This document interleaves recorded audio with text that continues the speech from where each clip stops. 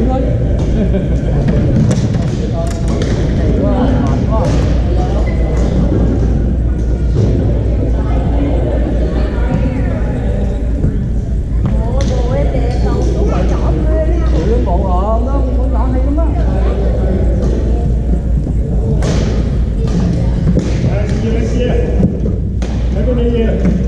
Happy New Year. Happy New Year. Yeah. cabeça, né?